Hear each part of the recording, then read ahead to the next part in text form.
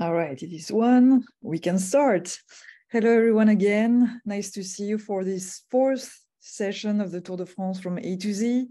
Uh, for the ones who don't know me, uh, I'm Emilie. I'm a library associate at the Princeton Public Library.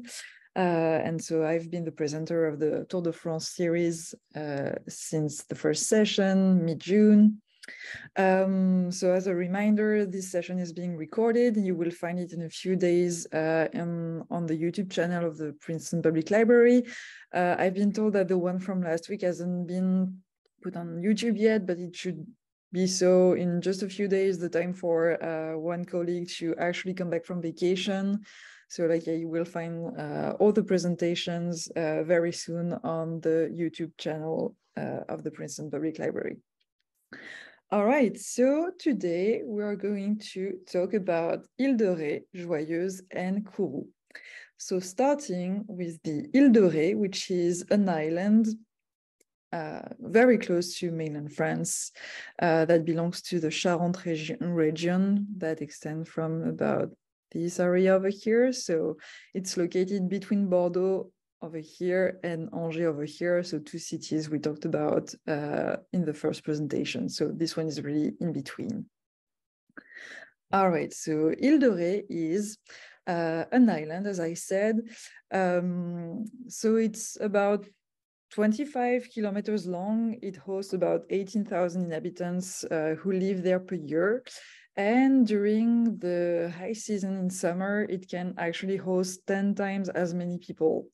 Uh, so it's a very touristic place, uh, and it's composed of about 10 villages uh, along the whole, uh, scattered along the whole uh, island. So what's interesting about this place is that its volume actually changes depending on the tide. when it's high tide, some of the land is actually hidden by the sea, and as the water recedes, the, the island increases in volume.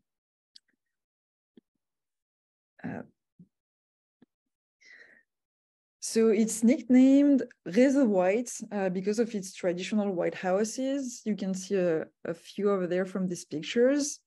And even though it's a tiny island, it offers quite a wide ranges of landscapes from sand beaches, pebble beaches, and as well marshes, dunes, and cliffs. Um, and it's actually the fourth biggest island of mainland France. So I'm not counting the overseas territory, only mainland France. So it's the fourth biggest island in terms of surface area, not population. The first one being Corsica, the second one, Ile d'Oléron, just south of the Ile de Ré, and the third one, Belle-Île in Brittany. Um, so it offers more than 100 kilometers of cycling trails. Uh, so yeah, across the island. So cycling is very popular in the island, and I would say it's not only nice to uh, cycle over there; it's also a necessity, especially in summer, as as I mentioned earlier, uh, as uh, during the peak season. 10 times as many tourists arrive on the island. Just imagine if about 100,000 cars just like drive on this 20 kilometer, like 15 mile land, it would be quite impossible to just like drive around there. So it's way nicer to just like go there by just bike on the island uh, on a on a daily basis. So it's connected uh, to mainland France by a three kilometer long bridge um, and so it's connected to uh, the city of La Rochelle in France. And before uh, the bridge was built in 1988, you actually had to take a ferry to cross the sea from the Ile de Ré to mainland France. So what can you do when you are on the Ile de Ré? First, you can definitely have a stroll on the numerous beaches uh, that you can find on the island. So half of the 100 kilometer coast of the Ile de Ré is actually beaches. So yeah, 50 kilometers, 30 miles uh, of beaches all across the island. Uh, most of the beaches are located on the southwest coast. So if we take the map, oh, sorry, if we take the map again, so like yeah, you will find actually most of the beaches over there. Uh, with a few in the north, but uh, most of the beaches of the Ile de Ré are located in, in this area in the southwest. Uh, so you can either like have a nice bath, have a stroll on the beach, or you can try uh, surfing, kite surfing, and windsurfing, which are very popular sports in the area. Uh, the Grenette Beach is actually a very good uh, spot for that. Uh, if you've seen that movie, some scenes of The Longest Day uh, that was released in 1962, starring uh, Henry Fonda, John Wayne, and Robert Mitchum, were shot on the Ile de Ré beaches. Uh, I think on Rivedoux Beach, uh, once again, if we take the map, so yeah, on Rivedoux Plage and as well at uh, Les Portes-en-Ré. So some scenes of um, The Longest Day have been shot over there. Not the whole movie, only, only a few scenes. After a stroll on the beach, you can aim to uh, Niges National Natural Reserve, uh, which is about 120 hectares, 300 acres um, uh, large. So it's mostly composed of salt marshes and mud flats, uh, where a lot of uh, birds, uh, migrating birds are stopping by. So if you are uh, a bird watching lover, that would be a very good place for you to go to you would see a lot of different bird species. Uh, so in this natural reserve, you can go to the House of the Bay Museum if you want to find some more information about local bio biodiversity and uh, the ecosystem diversity that you can find on the island. So from the, the dunes, the salt marshes, the forests and foreshore that you can find on the Ile de. So this, uh, this natural reserve is actually uh, managed by the League for Bird Protection, uh, which offers walks to go bird watching uh, in the in the natural reserve. So over there, you would see. So as I said, so this is an example of salt marsh right here, and so if you go bird watching, you would see some herons, some egrets, uh, but as well redshanks, black, black-winged stilts, and many species of ducks.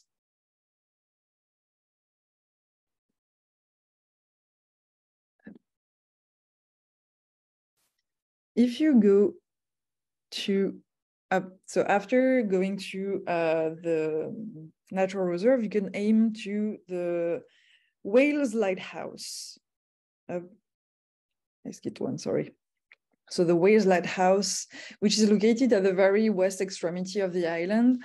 Uh, it's about 57 meter high, uh, about a bit less than 200 feet, and it's actually among the highest French lighthouses. If you're willing to, you can climb the 257 steps to go to the top where you will have a very nice view over the whole island and also over the Atlantic Ocean. Uh, unfortunately, there's no elevator, so you have to be quite fit to climb to the top. Uh, it was inaugurated in 1854 and is still in use today. Uh, and its light can actually be seen from around 50 kilometers, so like uh, 30 miles around. Uh, so right next to this lighthouse, you will have find an old tower, uh, which was the previous lighthouse that was built in uh, 1682 and that and which was in use until 1854, the year of the construction of the uh, bigger lighthouse, the Whales Lighthouse. At the bottom of the old tower, you can find a museum about the history of those two lighthouses, where you will find as well uh, some models uh, of those two constructions and of the island. So like yeah, here you have a picture with the big whale lighthouse and the old tower right over there with the museum at the bottom of the old tower.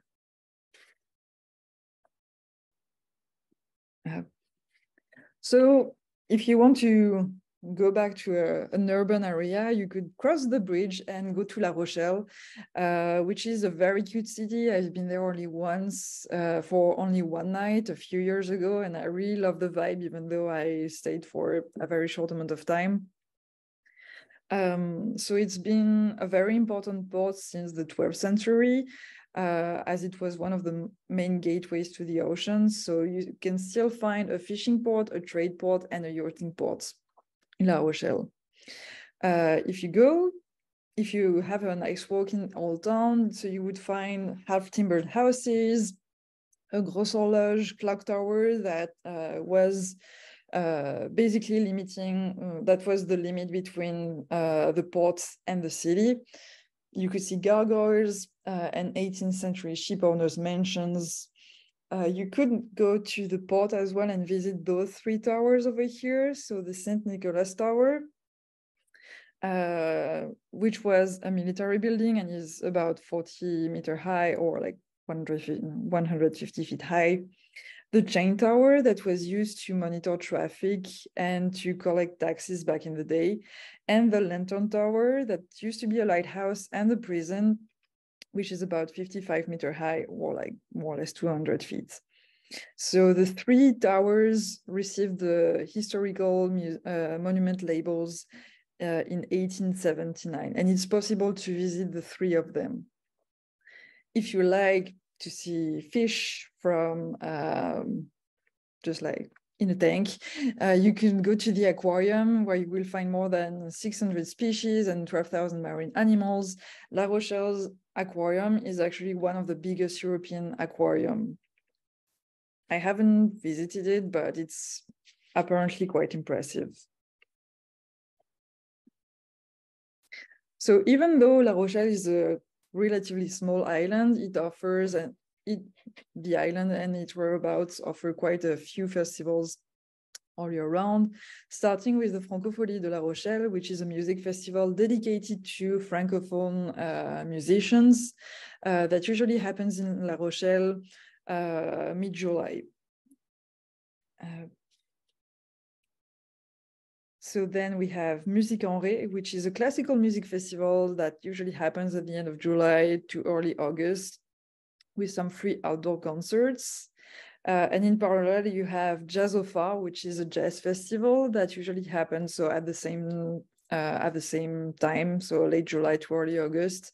Uh, this one takes place at the bottom and around the Whale Lighthouse. And the Oléron Durable Festival, uh, so this one is happening on the Oléron Island, so uh, the island right south of the Ile de Ré. Uh, so it's a one-day festival, usually early July, which evolves around sustainability with workshops, performances, conferences, and exhibitions about sustainability. So what can you eat uh, in, when you are in La Rochelle? So first, uh, I want to mention that uh, oysters uh, are found in, in on the Ile de Ré you can actually find 62 oyster farms around the island. So a question for you, uh, what is the average quantity of oysters produced on the Ile de Ré per year? Just like give a number either on the chat or you can unmute yourself.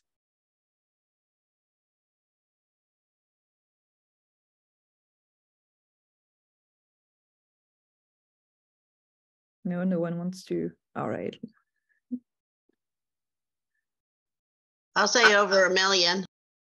So no, so like yeah, um, sorry. Uh, so not a number of oysters, but more like a, a weight uh, weight quantity. Sorry, I should have been more precise.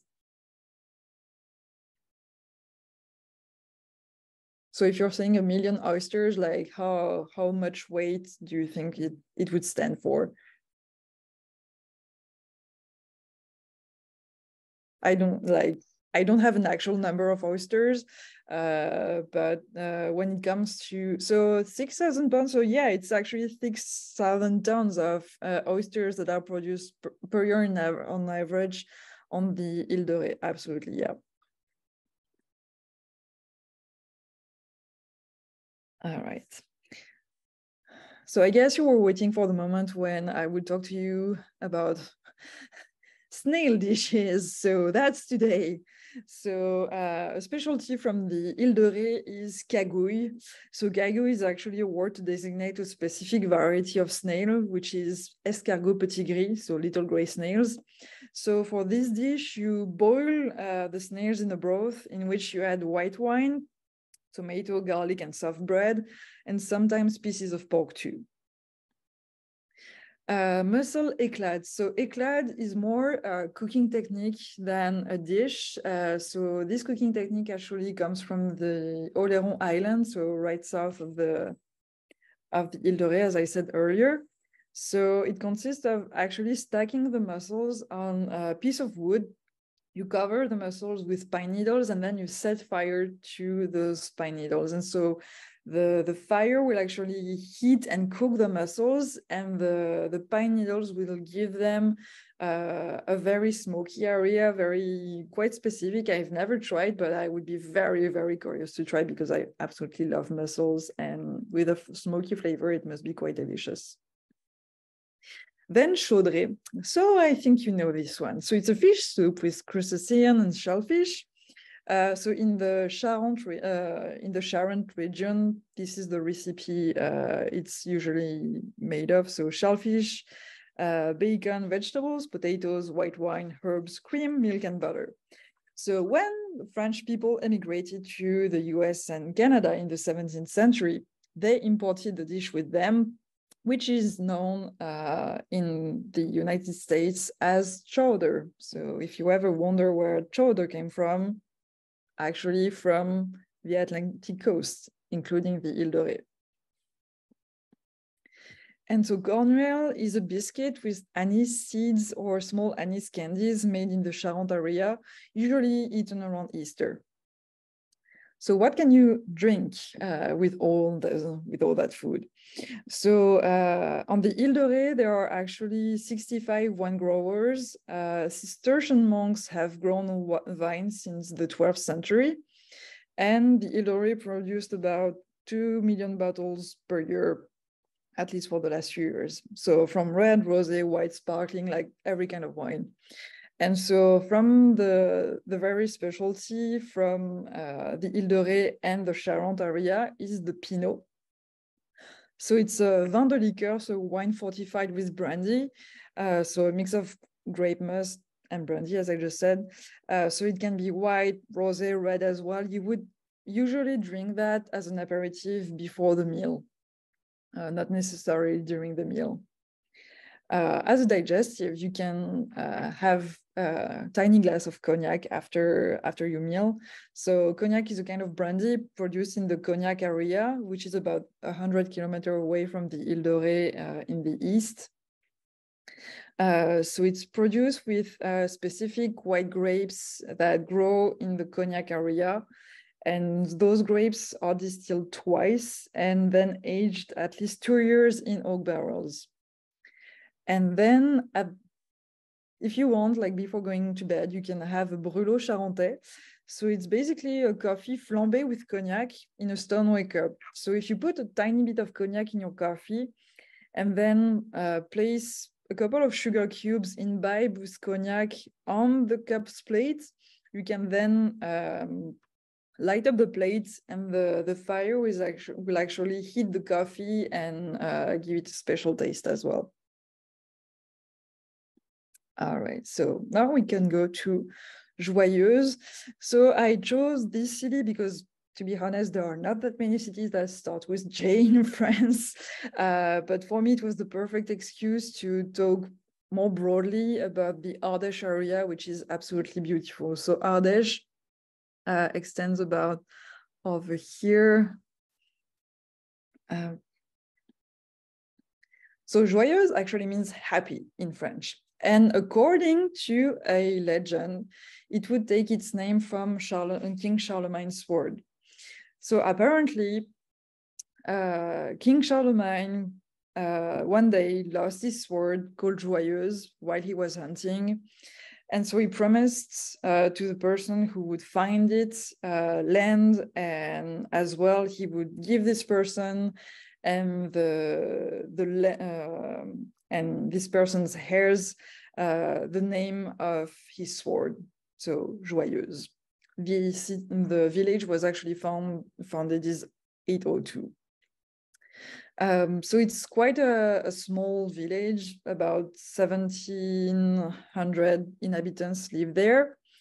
Um, so yeah, part of the original town fortifications dating from the 14th century can also seen, can be seen around Joyeuse medieval center. And actually a 16th century castle hosts the city hall. Uh, so Ardèche is actually one of the least densely populated departments in France. Uh, most of its inhabitants live in the countryside. Uh, it's quite wild, uh, offers a lot of natural areas like forests, mountains, canyons, caves, a very uh, varied range of landscapes.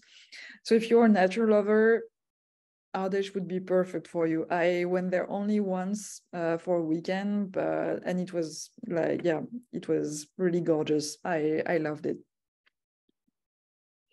So when you are in Ardèche, you could uh, go to the Païolive Woods, which is a six square mile oak forest in the south of Ardèche. So it's a protected natural area, or sorry, a protected natural area. Uh, so uh, in this oak forest, you will find a kind of labyrinth of limestone rocks with enigmatic shapes. For example, with a bit of imagination, you can think that maybe a bear is fighting with a lion. So like, yeah, uh, across the natural reserve, you would see some actually naturally shaped, like not man, like shaped by man hand, uh, like yeah, very enigmatic uh, rock shapes. Um, so locals call it the forest of the fairies, so fados for fairies. And the Païolive woods are the habitat of many different animal species like falcons, eagles, beetles, beavers, and bats. Then you could go to the Gorge de l'Ardèche, which is nicknamed the European, European Grand Canyon. So it's the gorge um, stretch for about 30 kilometer, like 19 miles. Uh, it's a famous uh, place to canoe and, and kayak uh, and attract over a million visitors per year. Uh, so at the entrance, at the north entrance of the series of gorges, uh, you would find this arch right here, which is called Pont d'Arc. So it's about 60 meter wide, about 200 feet, and 54 meter high, like 180 feet. Uh, and so to give you a better idea, so yeah, that's the kind of view that you could have from like the, the top of the gorges. So um, so the only time that I went to Ardèche, it was for a wedding. Uh, this wedding was happening uh, in a resort. And from this resort, there were like a series of stairs that led directly to the gorges. And I was very astonished by the, the beauty of the place. It was absolutely amazing. Uh, if you are interested in pre prehistoric art, you should go to the Grotte Chauvet 2 Ardèche. So um, it's called Grotte Chauvet number two because uh, it's a replica of a cave that was uh, discovered in 1994 um, in the gorges of Ardèche that uh, I just talked to you uh, right before. So the the original cave uh, was discovered on December 18th, 1994 by three speleologists, including Jean-Marie Chauvet, who gave his name to, to the cave and it is considered one of the most significant prehistoric art sites with cave paintings that date from uh, 32,000 to 30,000 BC. Uh, you may have heard um, the another uh, cave name, the Lascaux Cave, which uh, which is another very famous cave that was discovered in the 1940s. Uh, so to give you an idea, the paintings that were found in the Lascaux case were actually more recent than those ones uh, because they date from the uh, 17,000 BC. So the, the paintings that uh, that have been found in the Chauvet cave are unique. Uh, they're the, the only ones so far that have been found that are so so old. So uh, when people discovered that cave, they, uh, they were able to see some uh, paintings of many different animals like horses, bisons, rhinos, uh, cave lions, and so on, uh, as well as, and they found as well 4,000 uh, inventoried remains of prehistoric fauna and variety of human footprints. So to make the replica of, of this cave, uh, so the people who built the, the new cave uh, basically uh, used the exact same techniques, painting techniques that were used in the cave. Uh, for example, like a charcoal drawing, engraving, like fingertips painting, and they played with the volumes as well of the walls um, to give volumes to the paintings. Um, and so, yeah, they made the replica mostly to preserve the original cave, uh, and it starts that's very, very fragile. Um, so, yeah, the original cave was actually sealed off to the public a, a bit after it was discovered at the end of 1994 so like yeah and while they were uh, recreating the paintings as well they uh, the people who uh, built the chauvet number two uh, recreated as well the atmosphere that you could find uh, in the in the original cave. So with the original level of humidity the original temperature level of darkness and acoustics. So even though it's not the actual cave, I think it's really worth going there uh, because it it's quite impressive. Then, if you want to take a hike, uh, you can go to the Parc Naturel Régional des Monts d'Ardèche, uh, which stretches for about 100 kilometers uh, in the west part of Ardèche. So for uh, it, it covers uh, an 80, 880 square mile area. Uh, so it offers 4,000 kilometers of hiking trails. So the possibilities are quite endless here. Uh, it offer it's the habitat of 2,800 different animal species like birds, mammal insects, some of them uh, being very rare, like very uh, like very rare uh, species of eagles, of beetles. Uh, so this mountain range is uh, not very high. It's like yeah, medium mountains. Its highest peak, the Mont Mézenc, um, culminates at 1,753 meters, so roughly 5,500 feet. Um, and so another summit that's quite interesting is the Mont Gerbier de Jonc, which is a bit lower than that, uh, 1,500 meters, like yeah, roughly 5,000 feet, uh, which is actually the source of the Loire River and was a, was a volcano. Uh, if you want to climb up this one, it's quite a short hike. It's only 30, it should take you about 30 minutes to climb to the top. And from the top of the Mont Gerbier de Jonc, you would have a view over the Alps, uh, the Rhone Valley, and the Massif Central volcanoes that I mentioned in a previous session. And so in this area as well, uh, you can find 50 extinct volcanoes.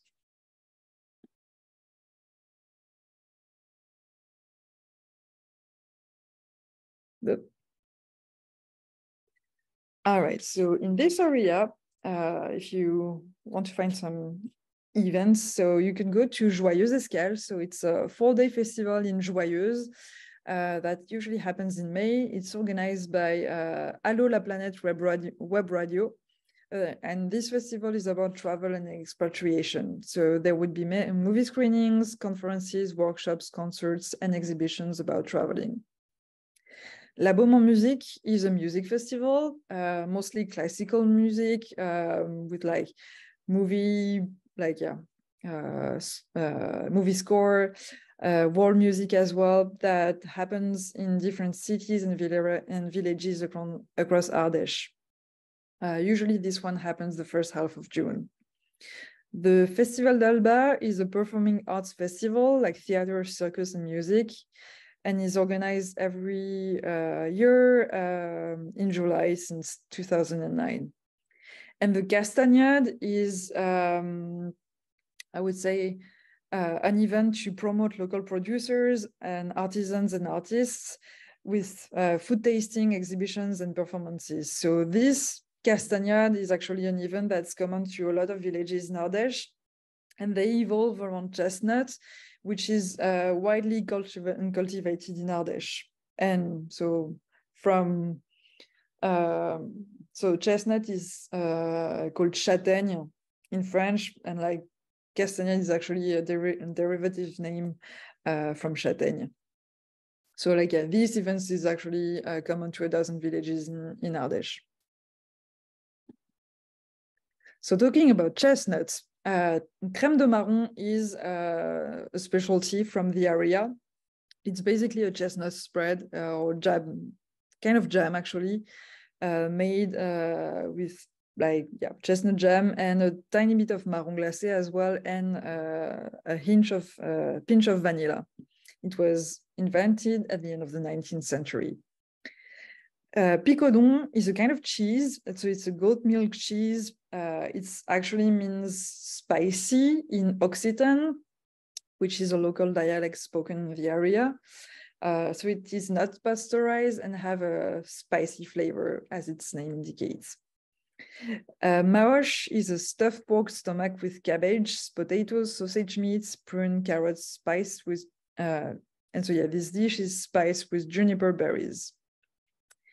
And crique, I would say that it's the kind of um, an equivalent of the tortilla de patatas from Spain. So it's an omelette made of sliced potatoes, parsley, and eggs.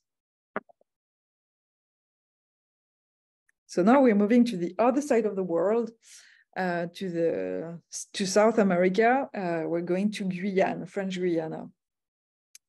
So this is the only uh, overseas territory that is actually on the South American continent not an island. So Kourou is um, a city that is about that is located on the coast of French Guiana, about 60 kilometers away from Cayenne, which is French Guiana's biggest city. You have heard the word Cayenne before. Yes, it's actually uh, related to the cayenne pepper, uh, which is um, cultivated in, in this area. So about 25,000 people live in Kourou, uh, which makes it one of the biggest cities of French Guiana as well. Uh, so in Kourou, uh, so Kourou is actually hosting the Guyana Space Center. Uh, so French Guiana, more broadly, was a penal colony from uh, the mid middle of the 19th century until the middle of the 20th century. And Kourou was uh, Kourou's penitentiary opened in 1856. Almost all of the territory of French Guiana is covered by tropical forests. Uh, most of the cities actually are located on the coast. You will find a few uh, other cities in the forest, but really most of them are located on the coast.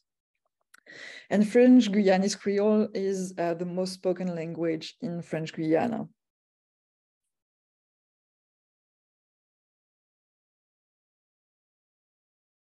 So when you are in Guyana and especially in Kourou, you could try to go to the Salvation's Island, Salvation Island, sorry.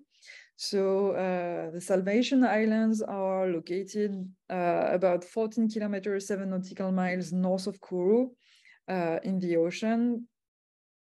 Uh, so uh, Salvation's Island are, are three small volcan volcanic islands, Devil Island, St. Joseph Island, and Royal Island. There are they take its name from um, a time when uh, French settlers uh, actually went to uh, this tiny piece of land to escape diseases on the mainland in the 18th century. Uh, right now, only St. Joseph and Royal Islands are accessible. Uh, you would find a lot of animals on Royal Islands like parrots, monkeys, iguanas, sea turtles, uh, and on St. Joseph Island, you would find prison cell ruins. So Salvation Islands are uh, the sites uh, of the remnants of a very harsh penal colony that was built in the 19th century. Uh, it actually opened in 1854 on the Salvation Island.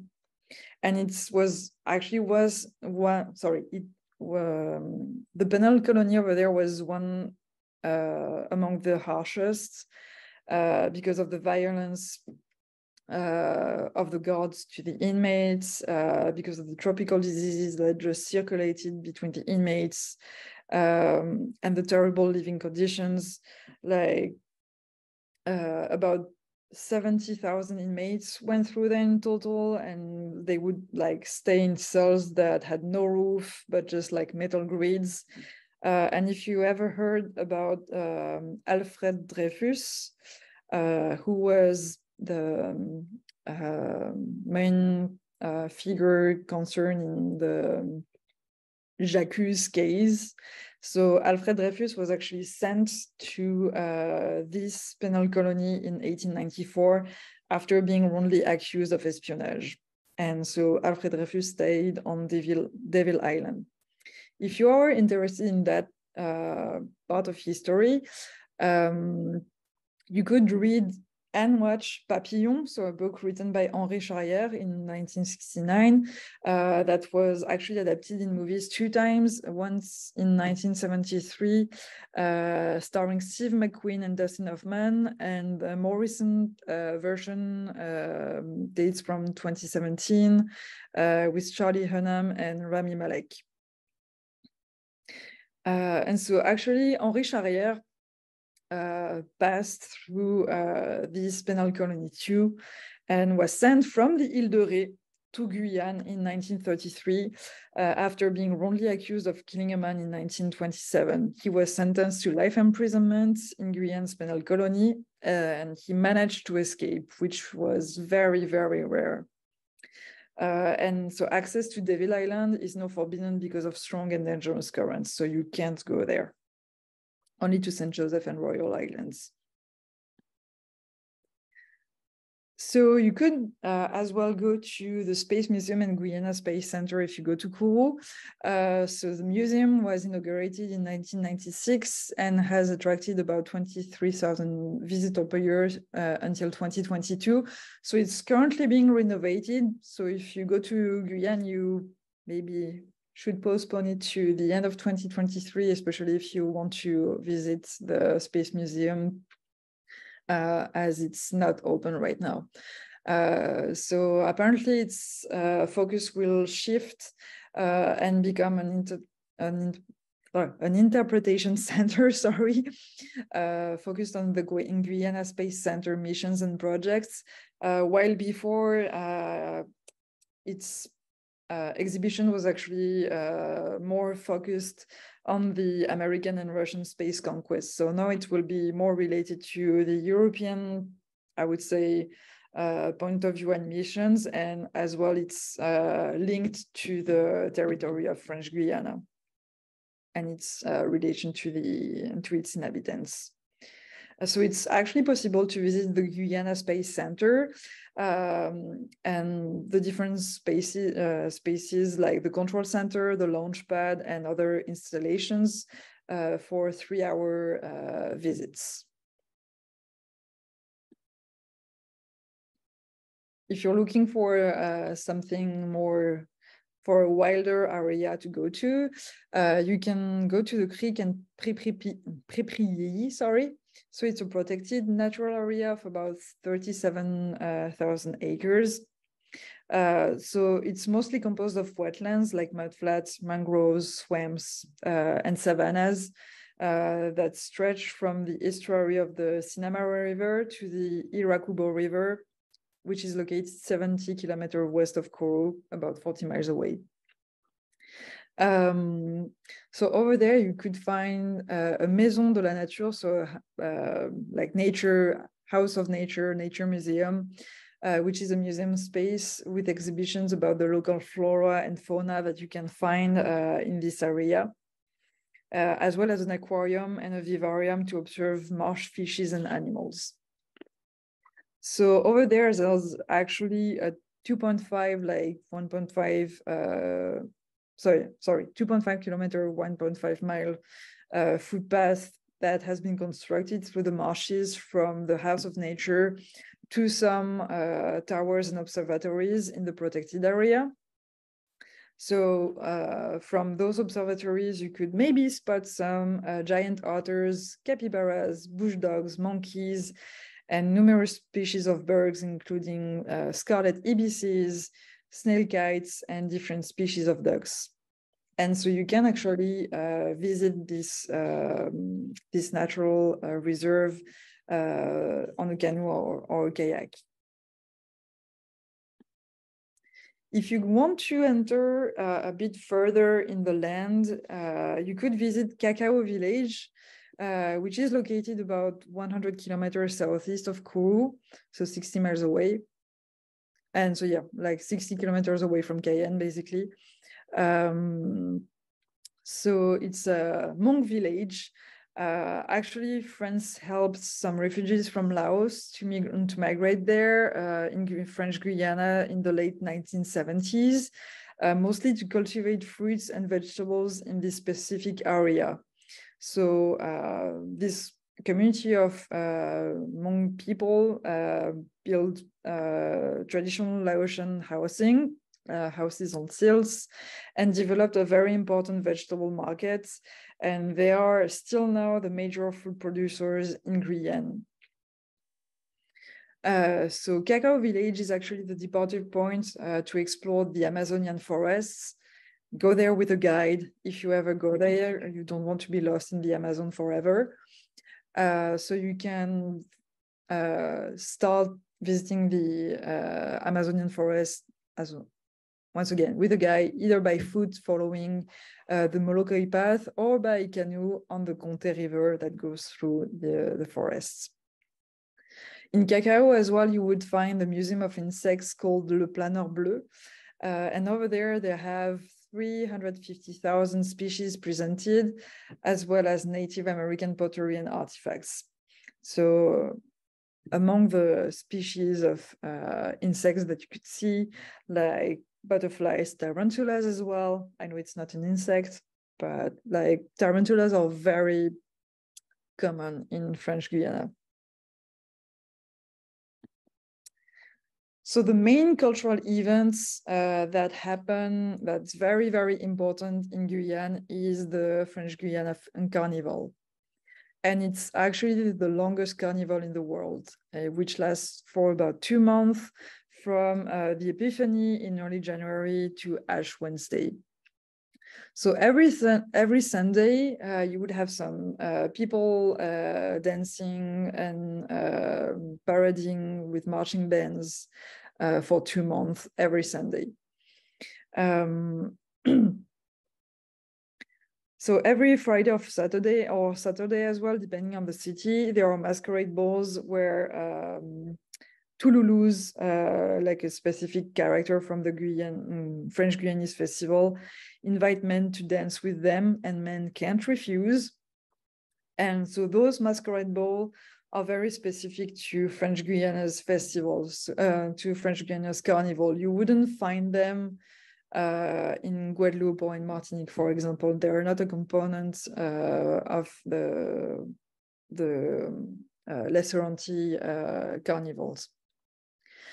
So parading as well, you would find some traditional characters like Touloulous, which are um, like costumes representing um, like bourgeois kind of noble uh, slave owners, uh, Negmarons like slaves who, who escaped, Lanmo like death, or Jeffarin, uh, people dressed in white uh, who throw flour on the audience. So the characters, traditional characters that would parade uh, in uh, French Guiana Carnival are actually very rooted um, in slavery from the 18th and uh, from the 18th and 19th century. And Ash Wednesday, which is the biggest uh, day of the carnival, so you would have a three hour long great parade of the coast on the coast um, that actually happens in Kourou, uh, which lasts, as I said, three hours and more. So, uh, and as well as the burning of uh, the giant puppet King Vaval. So this tradition is actually common to uh, other carnivals like the one in Martinique and the one in Dunkirk that I talked about in a previous presentation. So like, yeah, for this carnival as well, you would actually burn uh, a giant puppet at the very end of the carnival. So during this uh, parade, uh, the three hour long parade, uh, women dance or dressed as Touloulou, men dance and play music like drums, and kids uh, dressed as little devils uh, play instruments while they're parading. So here you have a, a bit more images of the French Guyanese Carnival. So those are Touloulous.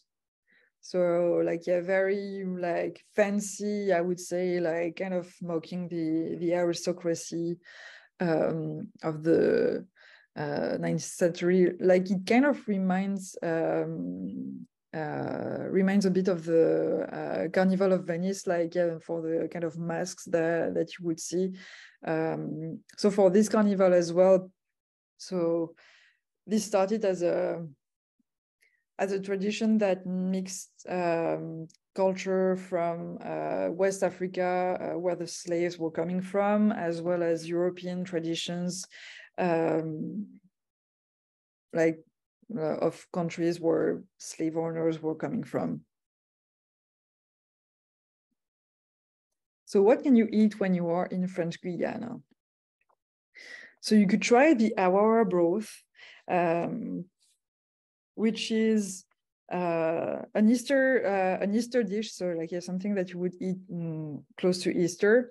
So awara is a tropical fruit, uh, and so awara broth is a stew made of the pulp of the, the awara awara fruits. Uh, mixed with smoked meat or smoked fish, as well as vegetables like cabbage, spinach, peppers, green beans, and eggplants. And it takes up to 36 hours to prepare the dish is often served with white rice. So, uh, as a generality, um, French Guyanese cuisine uh, is inspired by African, Indian, and Native American cuisines. And the most common ingredient that you would find is cassava. Second dish that you could eat is kalaloo, also called kalu.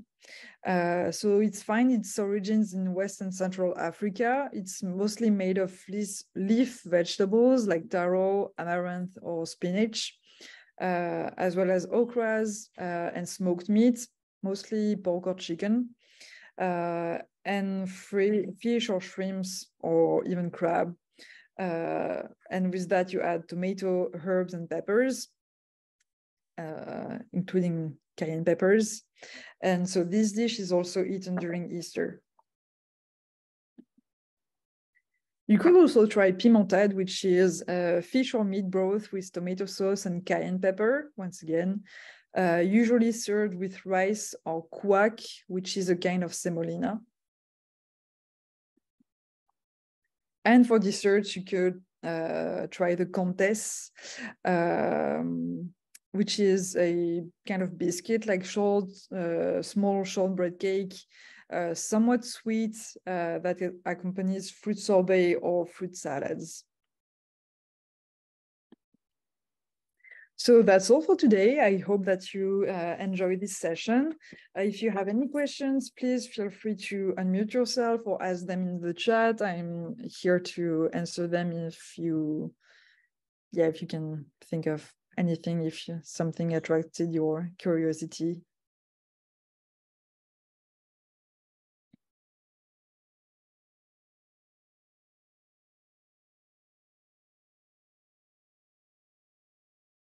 if not, no problem at all. Uh, our next stops will be Lyon, Marseille, and Nice. So this time we will stay more in the um, southeast of France, are rising sea levels a particular concern of Ile? Um, that's a good question. I think it tends to be more and more, especially with global warming. Um, I think recently there's been a, a study, um, maybe in, in the last few years, I can't really remember, uh, about all the territories that would be concerned by raising sea levels. And I think that Ile is definitely part of these territories. Uh, how do we find past tours on YouTube? I missed last week. Uh, so the one from last week hasn't been uploaded yet on the YouTube channel, uh, but let me see. Uh, let me see. Uh, I can send you the link. So um, you would find them on the Princeton Public Library channel. Uh, so if you just type Princeton Public Library, uh, Discovering France, uh, you would find them. But so yeah, the last one uh, hasn't been uploaded yet. Uh, we're just waiting for a colleague to come back from vacation to upload it on the YouTube channel. But the, I think the first two ones should be on YouTube. But yeah, thank you for your comments. And yeah, I really appreciate it. And so yeah, I'm looking forward to talk to you about the next three cities. I actually lived in Lyon, even though it was uh, during COVID, I couldn't enjoy it as much as I could. But like, yeah, I'm excited to talk to you about those three cities next week. And so yeah, if you have any other questions, I'm always available at the library through email or phone. You can email the ref staff at princetonlibrary.org uh, email and my colleagues will uh, transmit your questions to me. And so yeah, if nothing comes to mind, let's see you next week for a, a new session. Bye everyone.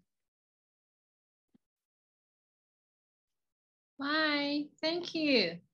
My pleasure. Bye. Bye. Merci. Mm-hmm. Merci. Thank you. My pleasure.